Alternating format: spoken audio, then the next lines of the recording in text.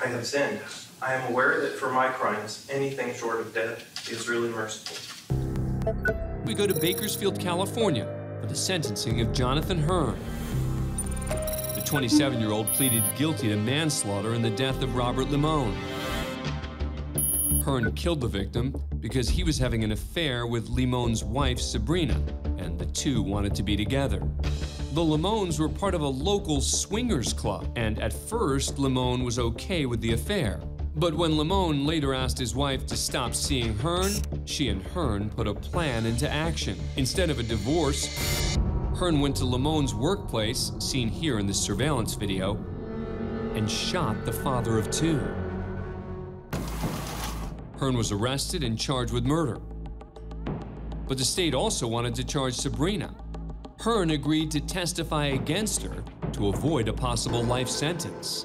She was somebody that stood out to me automatically as having a real magnetic personality. When you used the word affair, you were having sex with Miss Limon. Yeah, it was a primarily emotional affair, though we were hooking up from time to time. We talked about things that I would say normal people who are dating or um, going out probably wouldn't discuss. Eventually, the couple began discussing ways to eliminate Limon. It definitely turned from humor into something that actually began to materialize. After reviewing the evidence, a jury found Limon guilty of murder, conspiracy, and being an accessory. A month later, after Hearn pleaded guilty to manslaughter, he goes before Judge John Brownlee to learn his sentence. But first, the former firefighter has a few things he'd like to say. To Robert's family and his dear friends, I'm so sorry. I'm sorry for stealing your brother, your friend. I'm sorry for the effects of my pride and lust and anger. I'm sorry for my inexcusable involvement with Robert's wife. I'm sorry for the grief that I caused to Robert's mother that broke her heart. To the two children whose dad I took away from them. I'm so sorry. I cannot deserve your forgiveness. I am aware that for my crimes, anything short of death is really merciful. By the grace of God, I am what I am. It's now up to Judge Brownlee to determine the sentence. To be ordered the defendant serve 25 years, 4 months in prison. Three months later, Sabrina goes before the same judge to learn her sentence. As to count one, murder in the first degree, probation will be denied and the defendant will be sent to the Department of Corrections for 25 years to life. Limon won't be eligible for parole until 2036, when she would be 56. Because of his guilty plea, Hearn is eligible for parole in 2028, when he would be just 38 years old. We head to the Milwaukee County Courthouse. The man on trial is 25 year old Dwayne Cheney, who's charged with murder. Two years earlier, Cheney allegedly shot Michael Prescott in front of the victim's girlfriend, who also used to date Cheney. Tomorrow, this same ex girlfriend is scheduled to testify against Cheney. That's Cheney in the sweater vest outside the courtroom during a break in the trial. He knows within 24 hours the state's key witness is scheduled to appear. Cheney's allowed to walk freely inside the building because he has a GPS tracker attached to his ankle. Cheney had requested a speedy trial, but because the state could not accommodate, he was allowed to post a personal recognizance bond and be placed under house arrest, but required to wear the anklet. Multiple surveillance cameras record Cheney, who can be seen with his current girlfriend, Zuri London. After a few minutes, they go their separate ways.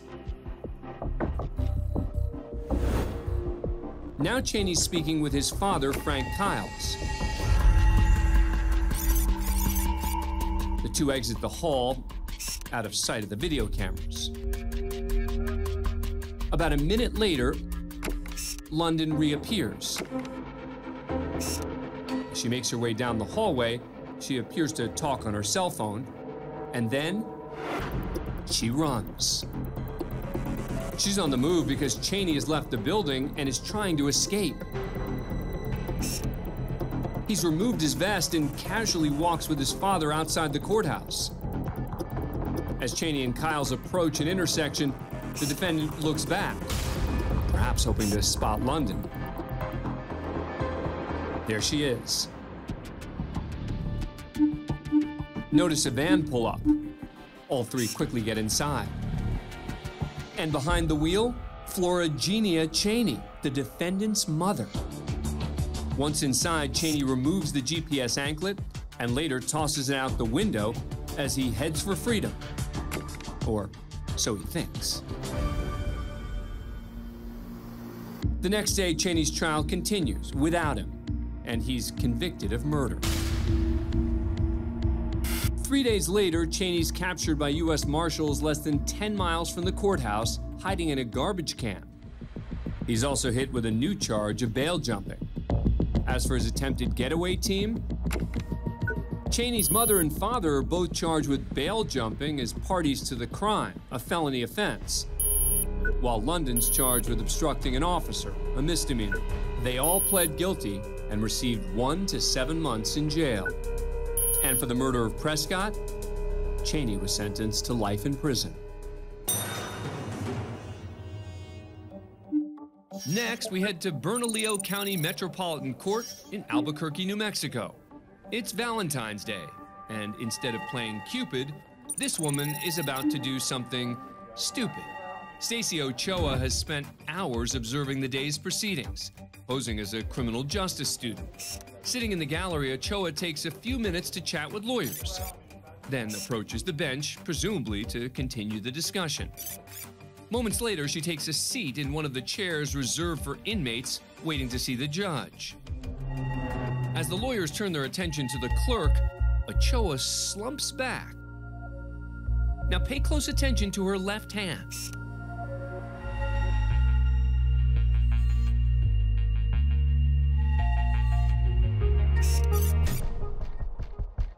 Ochoa waits another minute, then quietly leaves the courtroom. About 20 minutes later, a group of inmates enter the courtroom. One of them, Frank Chappelle, taps an inmate sitting in front of him on the shoulder. Waiting till everyone's distracted with the business at hand,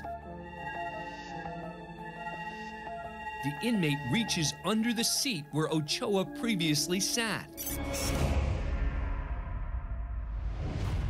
Authorities say Ochoa was not actually an inquisitive criminal justice student. It was all just an elaborate ruse used to pass an illegal Valentine's Day pick me up to a friend behind bars.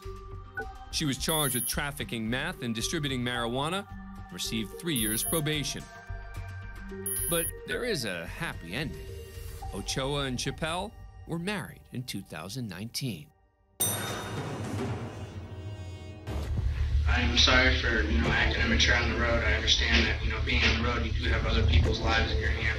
And, you know, I should have thought about that.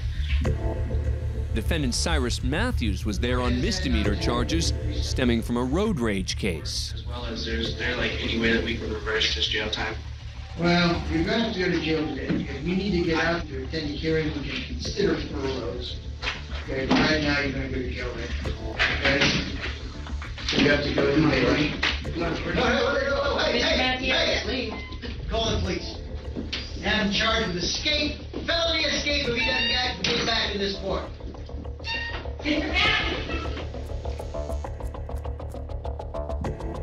Matthew's girlfriend follows him out. There seems to be a moment of hesitation here on Matthew's part. We now know it's the bailiff trying to reason with him, explaining that his escape will lead to felony charges. To no avail.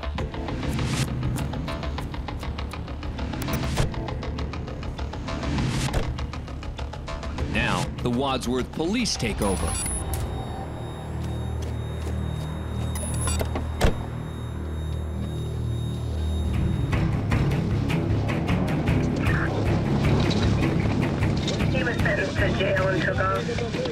Matthews is way ahead, reaching speeds of up to 90 miles an hour. Officer James Walzer is receiving updates. I saw him turn north onto Lyman from Maple. He was in an older gray four-door vehicle. 28, he's not. He's running red lights at Hartman. Passing on the right at Williams Reserve. My speed's 90, trying to catch up. Wadsworth, I think we're going to have a code 2.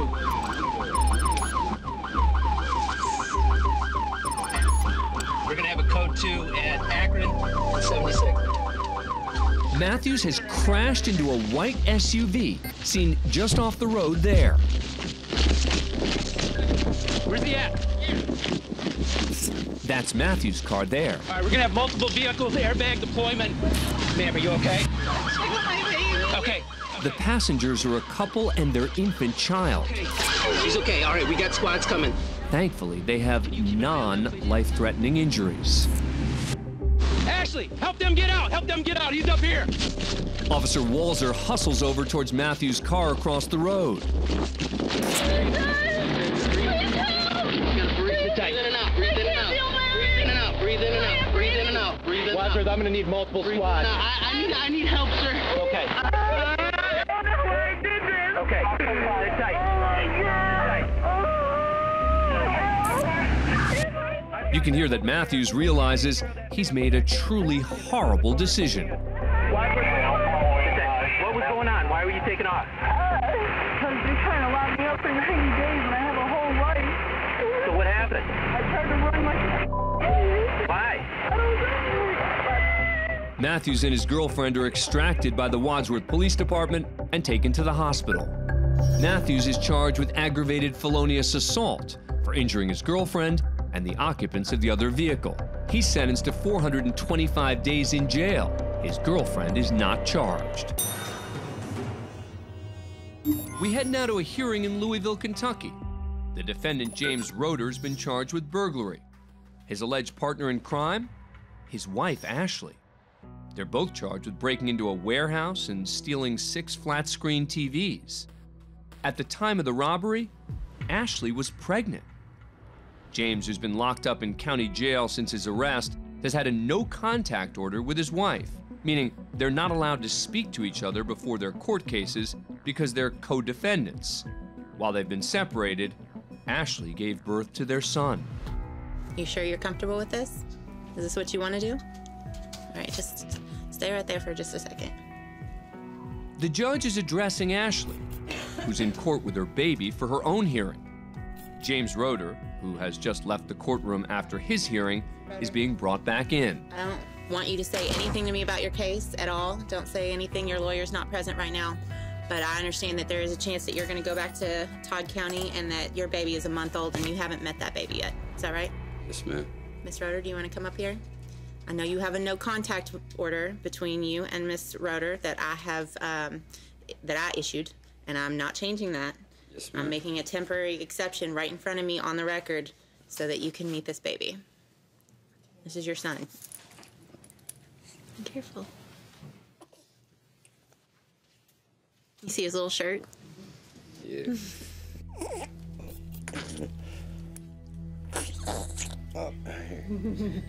It could be a fair amount of time before Roeder sees his son again. Give everybody some. All right. Thank you. James Roeder is sentenced to four years for third degree complicity burglary. And Miss Roeder, you can stay up here because I'm gonna call your case next. Ashley Roeder's given probation and is currently taking care of the couple's two children. Thank you for letting me be a part of that. If y'all aren't teared up, then you're just heartless.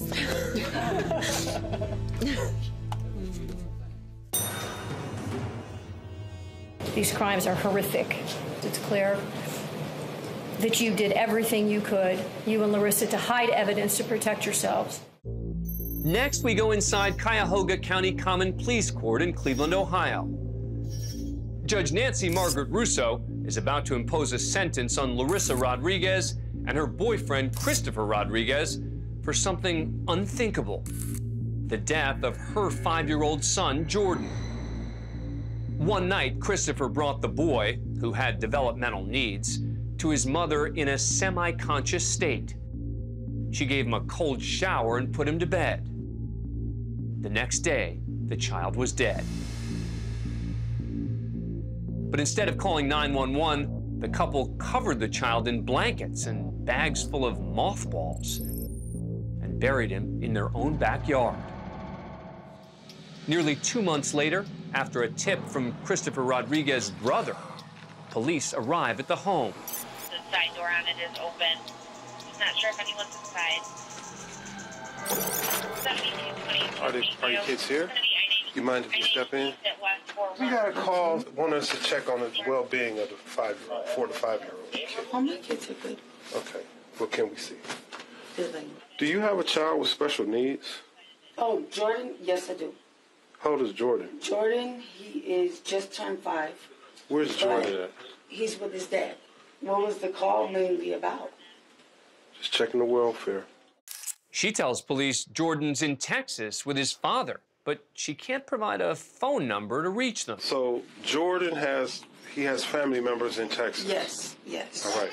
Do you know any numbers or any how to get in touch with anybody who actually lives in Texas? I mean, right now his phone just got disconnected. What's his address? He just had his phone disconnected. He's gonna be calling me with. She's just lied to police. The following day, police return and confirm the tip from Christopher Rodriguez's brother, who said the boy's buried in the backyard. Larissa Rodriguez and her boyfriend are charged. The couple enter into a plea deal. Murder charges are dropped in exchange for pleading guilty to involuntary manslaughter, felonious assault, two counts of child endangerment, and abuse of a corpse. Judge Russo sentences Larissa Rodriguez first. The court imposes a sentence as follows counts one, two, and three to be served consecutive to each other and concurrent to the sentence imposed in count five for a total sentence of 25 years. But before sentencing Christopher Rodriguez, Judge Russo is compelled to make a statement. And I look at these photographs, and it's very hard. Mr. Rodriguez, this is a horror.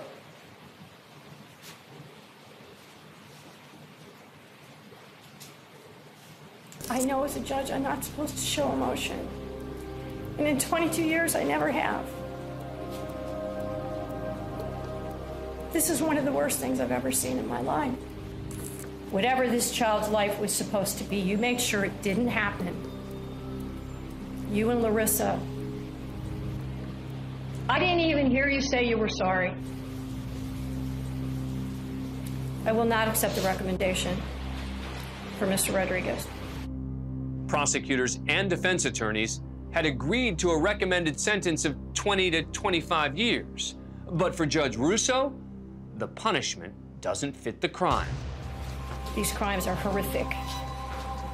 You had every opportunity at so many points to make a difference, to get help, to call the police, to ask for help, to try to take him to the hospital.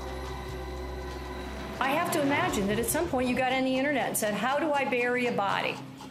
Because this is unbelievable to me.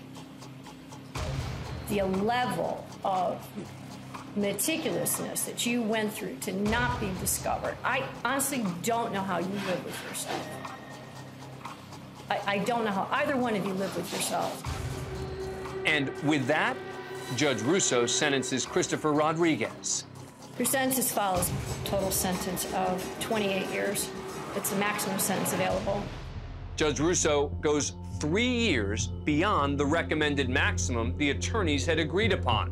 Rodriguez appealed the ruling, but it was upheld. He and Larissa Rodriguez are currently serving their terms in separate locations in the Ohio prison system. I am appalled and disgusted by what I've done. We're in Ogden, Utah, for the sentencing of 41-year-old Dea Millerberg. Three years earlier, Millerberg, her husband, and their 16-year-old babysitter, Alexis Rasmussen, were sharing alcohol, marijuana, and prescription drugs while engaging in sexual activity at the couple's home. The partying ultimately turned deadly after Eric Millerberg injected the 16 year old with her third dose of heroin and methamphetamine, causing an overdose. Eric Millerberg, a convicted felon, allegedly feared he'd be sent back to prison if they alerted authorities. So the couple drove Rasmussen's body to a remote area and buried her in a shallow grave. Alexis Rasmussen remained a missing person for more than a month until a tip from a confidential informant led police to her body and back to the Millerbergs. Following the couple's arrest, Dea made an agreement with the prosecution to testify against her husband in exchange for a reduced sentence. She pled guilty to obstructing justice, unlawfully acquiring prescription drugs, and desecration of a dead body. For three years, Millerberg's been allowed to live free out on bail and was able to regain custody of her infant and elementary school aged child. But now at sentencing, she's facing up to 15 years in prison. Before learning her sentence, Millerberg turns to face the victim's family. Can I? You may address the audience just now. I just want to say that I am appalled and disgusted done. I've hurt your family in a way I can't fix. You're my prayers, and I hope one day you'll be able to forgive me, and that God will bring peace.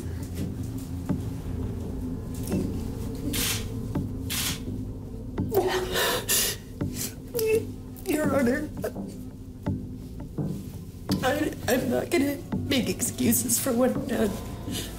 I think it would only make things worse. I, I have no way to express the magnitude of grief that I feel for Alexis' family for what I've done. But I take responsibility. And thank you for just letting me say piece. It's now up to Judge W. Brent West to make a decision. The bottom line is, um, Ms. And I do think that prison is the appropriate sentence in this particular situation.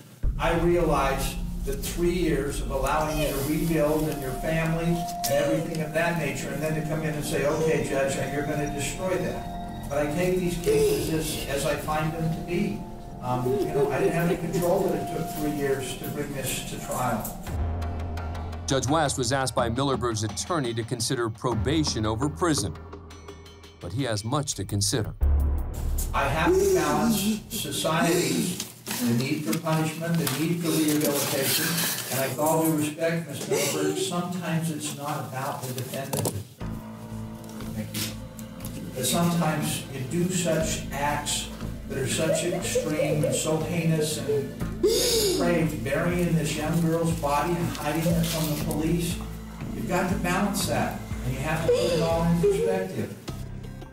Going to be the order and sentence of the court that you're to serve three indeterminate terms in the Utah State Prison zero to five years. I will recommend that they run concurrent. Dea Millerberg ultimately served four years and two months in state prison. As for her husband, Eric Millerberg, he was convicted of child abuse homicide, obstruction of justice, unlawful sexual conduct with a minor, and abuse or desecration of a body, and was sentenced to six years to life in prison. Next, we head to South China for a hearing. Ms. Yang and her husband, Mr. Huang, have been taken to court by Huang's mother. She lent the couple money to pay for their wedding, and because they're currently going through a divorce, feared she would not be paid back. As the hearing goes on, Ms. Yang argues with her soon to be ex mother in law. Mr. Huang takes exception to the tone his estranged wife takes with his mother and lets her know about it. With tensions high, that tap turns into an explosion.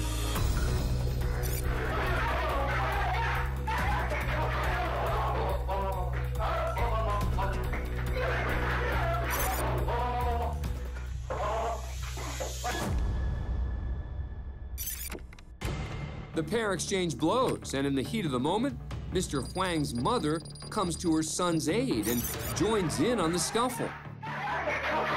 As chaos ensues, Ms. Yang then directs all of her anger to the mother in law and strikes her in the head. The two begin to really go at it in an all out brawl. As the pair struggle, Huang joins his mother, attacking his wife. The fight goes on, and a lone court official is tasked with keeping the trio separated. As he restrains the husband, the wife and mother in law continue their violent exchange.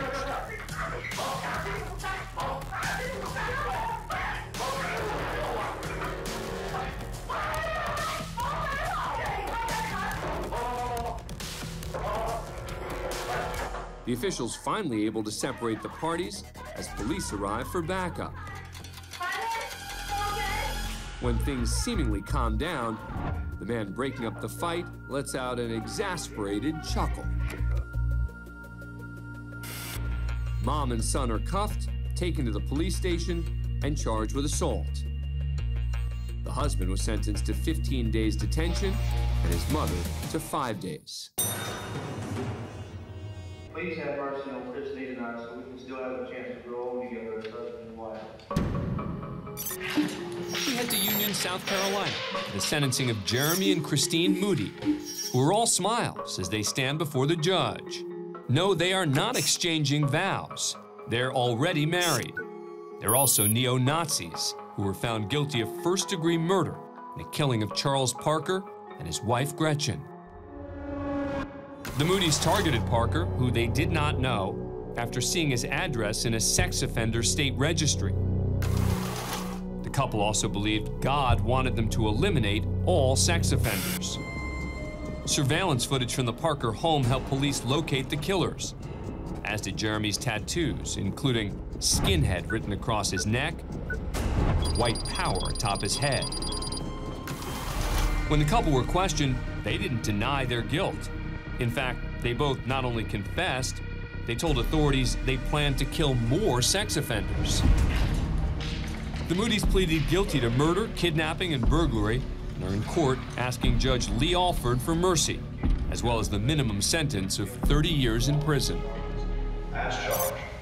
Your Honor, a day goes by that I don't regret things happened. I know that what I've done is a sin, and I believe that God has forgiven me of it.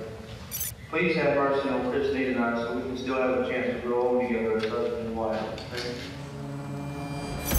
Next, it was Christine Moody's chance to plead for forgiveness. The Bible clearly states thou shalt not kill. I'm sorry I broke that commandment, but I truly believe God has forgiven Jeremy and I. I hope you will too. Your Honor, please see it fit that Jeremy and I are sentenced to the same sentence of 30 years.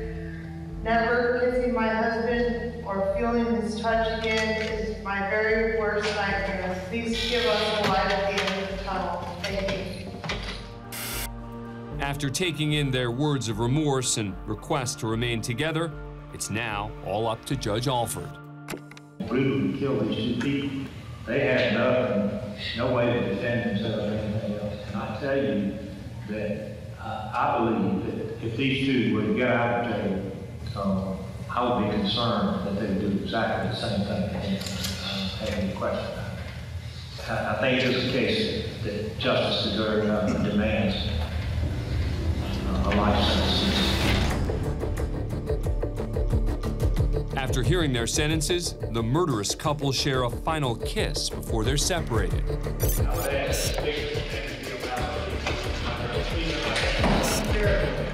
But as they exit the court, whatever remorse they tried to convey has quickly disappeared. Pervert later. That's what child molesters get. Outside the courthouse, the Moody's continue to express their true feelings. I think Jeremy and I would have done it again if given the opportunity. Do you have any regrets? I have no regrets. Killing that pedophile was the best day of my life. What about not being able to see Jeremy? Jeremy and I have a love that will withstand this. What about what you said in court about repenting? Is that not true then? No, it's not true. My lawyer made me say it. Do you have anything to say to the victim's family? May they die also. Jeremy and Christine Moody were both sentenced to life in prison with no chance of parole.